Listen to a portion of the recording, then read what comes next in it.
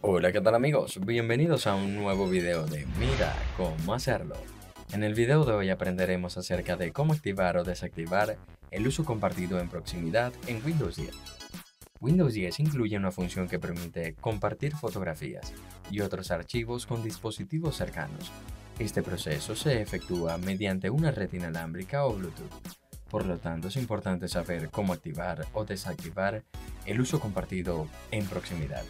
Y es que déjame decirte que esta es una de las consultas que nos han estado preguntando muchísimas personas, ya que quieren aprender un poco acerca de cómo desactivar o activar esta función, o dónde podemos encontrarla. Por lo que si quieres conocer un poco sobre esto, quédate en este video. Comencemos.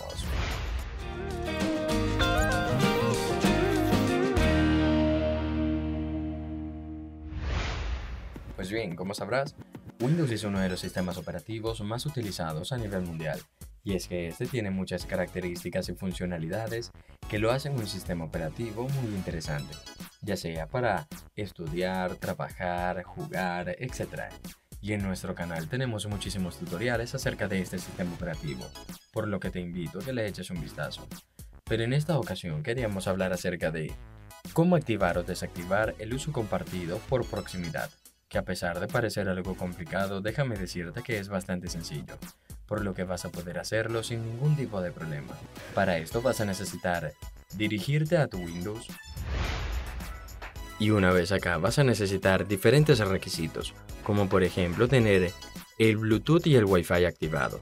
Para esto vas a venir en la parte inferior derecha en el apartado de notificaciones y acá adentro en la parte inferior vas a poder ver las características que tienes activadas en tu Windows. Vas a activar la que dice Bluetooth y la que dice Wi-Fi o red. Posteriormente vas a venir en la parte inferior izquierda en el menú de inicio y vas a venir al apartado de configuraciones. Posteriormente vas a venir al apartado del buscador y vas a escribir experiencias compartidas. Simplemente lo seleccionas y como puedes ver en este apartado de experiencia compartidas vas a poder visualizar esta funcionalidad. Simplemente lo activas o lo desactivas y listo. Aunque eso sí, cabe destacar que necesitas que tu computadora disponga de Bluetooth y Wi-Fi, ya que de lo contrario no va a ser posible o no te va a aparecer la configuración. Como pudiste ver, es bastante sencillo activar la experiencia compartida dentro de Windows, ya que simplemente es lo que te mencioné anteriormente y listo. ¿Y tú? ¿Pudiste habilitar la experiencia compartida en Windows? Si el video te sirvió de ayuda, déjalo saber en la caja de comentarios. No olvides suscribirte, activar la campanita y dejar un hermoso like. También te invito a pasar por nuestra página web, donde encontrarás este tipo de artículos de una forma detallada, para que no te pierdas absolutamente nada. También encontrarás mucho contenido interesante sobre el mundo de la tecnología. Un saludo y adiós.